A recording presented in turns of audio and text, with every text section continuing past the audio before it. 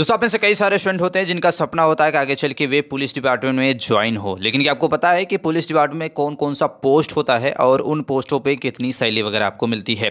दोस्तों, अगर आप आज के वीडियो पूरा अंत तक देखते हैं तो आप जैसे ही किसी भी पुलिस ऑफिसर्स को देखेंगे तो आप उनके वर्दी से ही उनको पहचान लेंगे कि ये कौन सा ऑफिसर्स है, कौन से पोस्ट पे कार्य करता है और इनको कितनी सैली मिलती है। दोस्तों, अगर आप भी जानना चाहते हैं पुलिस डिपार्टमेंट के सभी पोस्ट और उनके सैली के बारे में तो वीडियो अंत तक बने रहिए आज के इस वीडियो को स्टार्ट करते हैं। दोस्तों स्टेट पुलिस में सबसे सबसे नीचे पोस्ट आता है आपका कांस्टेबल का। आप कांस्टेबल में आपके तीन प्रकार के कांस्टेबल होते हैं। पहले होते हैं आपके कांस्टेबल, जो नॉर्मल कांस्टेबल होते हैं, देन आपके सीनियर कांस्टेबल। इसके बाद आते हैं आपके हेड कांस्टेबल। दोस्तों, सबसे पहले बात कर लेते हैं पुलिस कांस्टेबल के बारे में। दोस्तों, इनकी बात करते हैं, इनकी जो बेसिक सैलरी होती है, वो इक्कीस हज़ार होती है, और इनके कंधे पर कुछ भी नहीं बना हुआ होता है। इनका जो यूनिफॉर्म होता है, वो बिल्कुल ही नॉर्मल होता है, जिससे आप पता लगा सकते हैं कि ये एक कांस्टेबल हैं। इसके बाद आते हैं आपके head senior constable. Senior constable की बात करते हैं तो इनके कंधे पर दो धारियाँ बनी होती हैं, जिससे आप पता लगा सकते हैं कि एक सीनियर कांस्टेबल हैं, जो भी स्क्रीन पे आप देख पा रहे होंगे। और बात करते हैं इनके सैली की तो इनके जो सैली होती है, वो होती है लगभग पच्चीस हज़ार मंथली के आसपास। नेक्स्ट पोस्ट आता है आपका हेड कॉन्स्टेबल का। दोस्तों, हेड कॉन्स्टेबल की बात करते हैं तो इनके कंधे पर तीन धारियाँ बनी होती हैं, जिससे आप पता लगा सकते हैं कि एक हेड कॉन्स्टेबल है। और इसके बाद बात करते हैं इनकी सैली की तो इनकी जो सैली होती है, वो तीस हज़ार रुपये के आसपास मंथली सैली यहाँ पे इनको दी जाती है। बेसिक सैली की बात कर रहे हैं, भत्ते वगैरह को ऐड करके इनको और भी अधिक सैली यहाँ पे मिलती है। दोस्तों, हेड कांस्टेबल का जो पोस्ट होता है, काफ़ी जिम्मेदारियों वाला होता है। जितने भी केस वगैरह आते हैं, उनको लिखना और जो सीनियर कांस्टेबल हैं या फिर कांस्टेबल है, वे अपना सही से काम कर रहे हैं या फिर नहीं कर रहे हैं, इनकी देख करने के लिए आपको हेड कांस्टेबल यहाँ पे निर्धारित किया जाता है।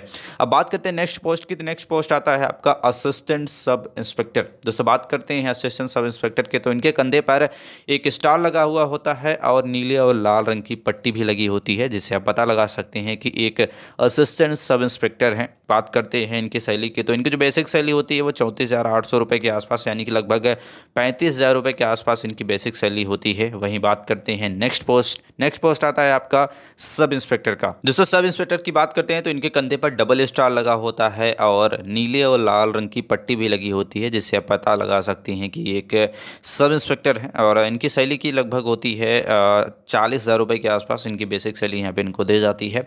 नेक्स्ट पोस्ट आता है आपका इंस्पेक्टर का। इंस्पेक्टर यानी कि जिसे हम एसएचओ के नाम से भी जानते हैं। इनके कंधे पर ट्रिपल स्टार लगा हुआ होता है और नीले और लाल रंग की पट्टी भी लगी होती है, जिसे आप पहचान सकते हैं कि एक इंस्पेक्टर हैं और एक इंस्पेक्टर को एसएचओ यानी कि स्टेशन हाउस ऑफिसर के नाम से भी जाना जाता है और एक जो थाने की पूरी ज़िम्मेदारी होती है, वो इन्हीं के ऊपर होती है। जितने भी केस आते हैं, उसको हैंडल करना सही, सभी लोग जो स्टेशन में हैं, वो सही से काम कर रहे हैं फिर नहीं कर रहे हैं।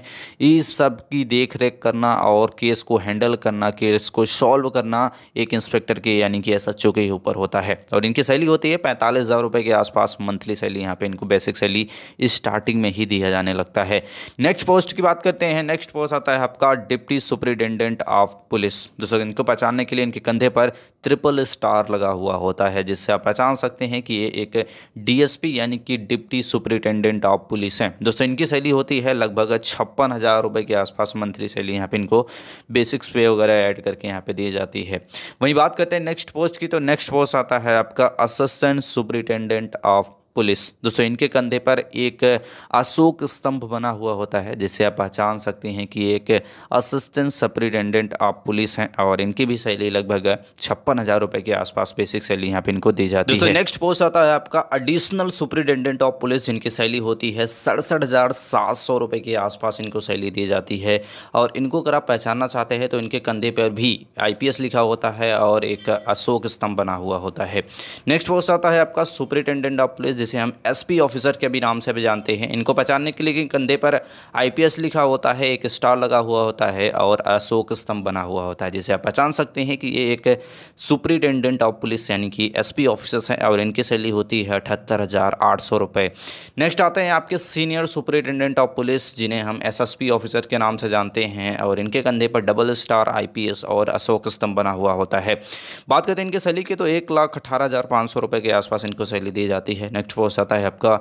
Deputy inspector general of police, DIG officer जिनके कंधे पर ट्रिपल स्टार, आईपीएस और अशोक स्तंभ बना हुआ होता है। इनकी सैलरी होती है एक लाख इकतीस हज़ार रुपये मंथली सैलरी स्टार्टिंग में ही इनको दिया जाता है। नेक्स्ट पोस्ट की बात करते हैं, इंस्पेक्टर जनरल ऑफ़ पुलिस, जिसे हम आईडीपी के नाम से भी जानते हैं और इनके कंधे पर हम बात करते हैं तो एक क्रॉस चिन्ह बना हुआ होता है इसके साथ साथ एक स्टार और आईपीएस लिखा हुआ होता है।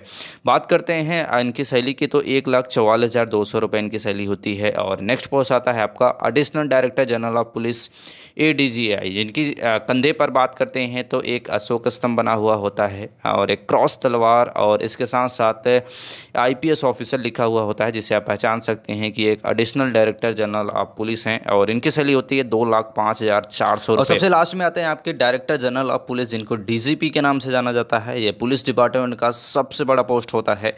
और बात करते हैं इनके शैली की तो दो लाख पच्चीस हज़ार रुपये के आसपास इनकी शैली होती है। और इनके कंधे पर भी सेम एक क्रॉस तलवार एक अशोक स्तंभ और आईपीएस ऑफिसर लिखा हुआ होता है, जिसे आप पहचान सकते हैं कि एक डायरेक्टर जनरल ऑफ़ पुलिस, यानी कि डी ऑफिसर्स हैं। दोस्तों, ये पुलिस डिपार्टमेंट की स्टेट लेवल के जितने भी पुलिस डिपार्टमेंट हैं, उनमें लगभग यही सारे पोस्ट होते हैं और उनमें इतनी सैली वगैरह मिलती है। और उनको पहचानने के लिए जैसे कि स्क्रीन पर हमने सारे इमेजेस वगैरह आपको दिखाए, और इससे आप पहचान सकते हैं कि ये कौन से पोस्ट पर है और इनको कितनी सैली वगैरह यहाँ पर इनको मिलती है।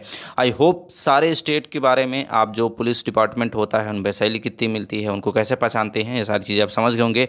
वीडियो से कोई भी उन्हें क्वेश्चन और डाउट्स आप कमेंट हमसे पूछ सकते हैं, और ऐसी जानकारी के लिए चैनल को लाइक और सब्सक्राइब ज़रूर कर ले। मिलते हैं नेक्स्ट वीडियो में तब तक के लिए जय हिंद।